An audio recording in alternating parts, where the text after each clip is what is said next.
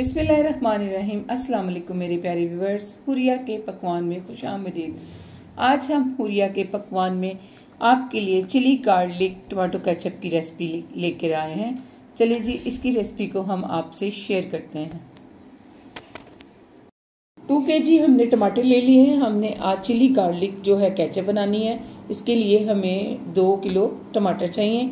और इनको हमने अच्छी तरह से वॉश कर लिए। वॉश करने के बाद इसके छोटे छोटे से हम पीसेस कर लेंगे। चलिए जिसकी रेसिपी को हम आपसे शेयर करते हैं।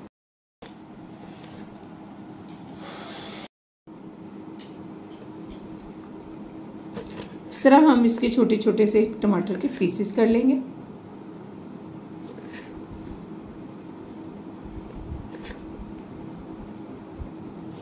और बाकी भी जितने टमाटर हैं, उनके भी हम इस तरह पीसेस कर लेंगे सब टमाटर के।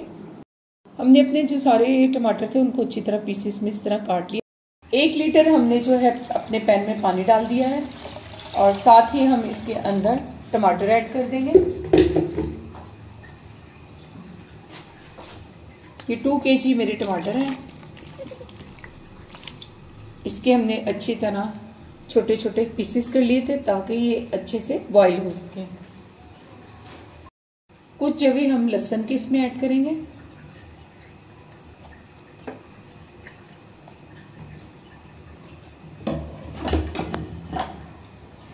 वन टेबल स्पून हम इसमें,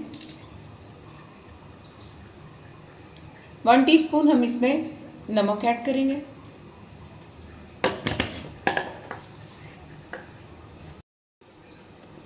वन टीस्पून हम इसके अंदर ब्लैक पेपर यूज़ करेंगे।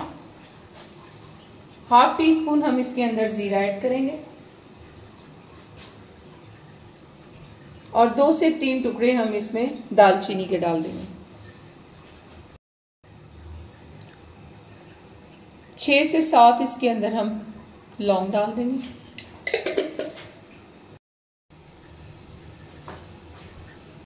मिनट तक हमने जो टमाटर है अच्छी तरह पका लिया है और ये देखें ये बॉईल हो गए ठीक से। साथ ही हम इसके अंदर हाफ़ कप चीनी ऐड कर देंगे। ये अपने टेस्ट के मुताबिक आप ऐड करेंगे।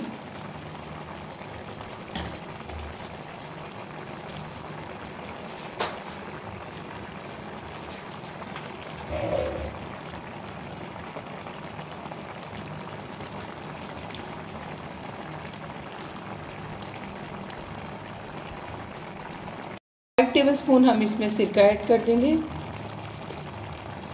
और इसको मज़ीद तीन से चार मिनट के लिए कुक होने देंगे।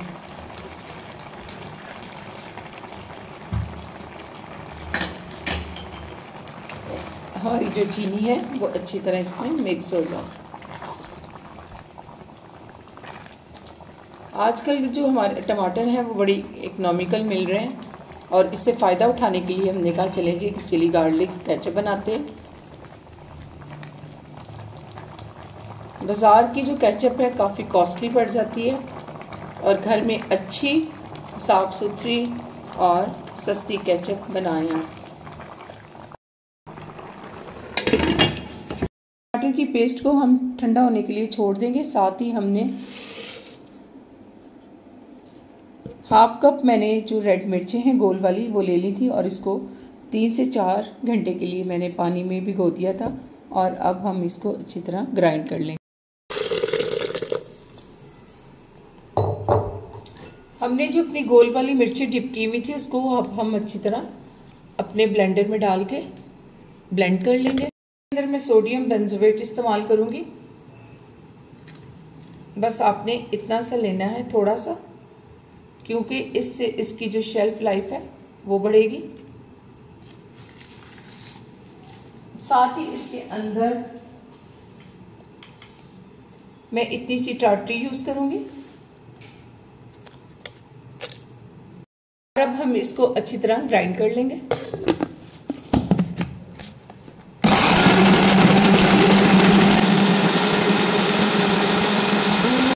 इसी जग में हमने अपनी मिर्चों को ग्राइंड किया था, साथ ही हम जो है इसके अंदर जो टमाटरों की पेस्ट है, उसको ऐड कर देंगे।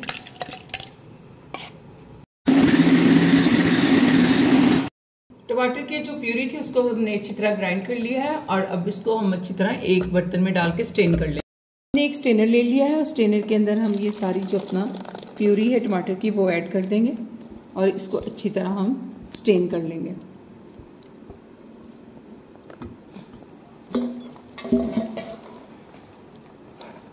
ताकि टमाटर के कोई छिलके वगैरह या कुछ इसके अंदर हैं तो वो निकल जाए। और इसके अंदर मेरा केमिकल यूज़ करने का मकसद ये था कि इसको आप ज़्यादा देर के लिए फ्रीज कर सकते हैं और इसको अच्छी तरह हम इस तरह स्ट्रेन कर लेंगे। और हंसपे जायका इसके अंदर आप जो अपने स्पाइसेस हैं ऐड करेंगे।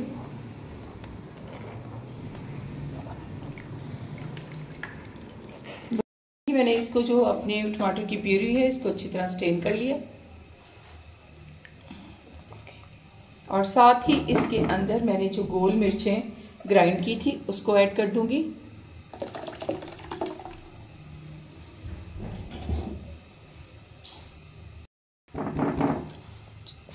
ये देखिए जी, हमारी जो टमाटर की प्यूरी है, उसको हम अच्छी तरह 10 से 20 मिनट तक पका लेंगे ताकि इसकी जो, इसमें जो पानी है या जो भी है वो ड्राई हो जाएगा और ये हमारी जो कैचअप है बड़ी अच्छी तरह रेडी हो जाएगी। इसके अंदर हम दो से तीन ड्रॉप जो हैं, वो फ़ूड कलर के डाल देंगे और ये बिल्कुल बाज़ार जैसा इसका जो कलर है वो आएगा और इसका जो टेक्सचर है और जो माशाल्लाह इतना स्मूथ और ख़ूबसूरत है कि बाज़ार से ज़्यादा खूबसूरत हमारी जो कैचअप है, वो रेडी हो रही है। ये देखिए जी, हमारा जो कलर है बड़ा अच्छा सा आ गया और बड़ी स्मूथ सी हमारी जो कैचअप है, वो रेडी हो रही है। और इसको हम 10 से 20 मिनट तक अच्छी तरह कुक करेंगे ताकि इसका जो पानी इसके अंदर है और वो खुश्क हो जाए।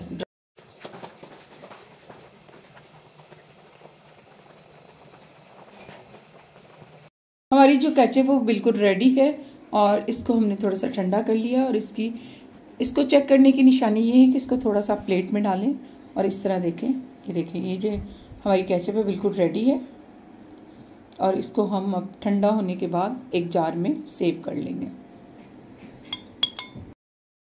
हमारी जो चिली गार्लिक कैचअप है वो बिल्कुल रेडी है और इसके लिए हमने एक शीशे का जार ले लिया। इसको सेव करने के लिए शीशे का जार सबसे बेहतरीन है। प्लास्टिक में आपकी जो है वो इसमें फंगस भी लग सकती है। इसलिए बेहतर है कि आप शीशे का यूज़ करें और अब हम इसको इसमें डाल देंगे। इस इसकी शेल्फ लाइफ बढ़ाने के लिए मैंने इसके अंदर केमिकल यूज़ किए हैं। ये देखिए जी, हमारी जो चिल्ली, गार्लिक टमाटो केचप है, बिल्कुल रेडी है।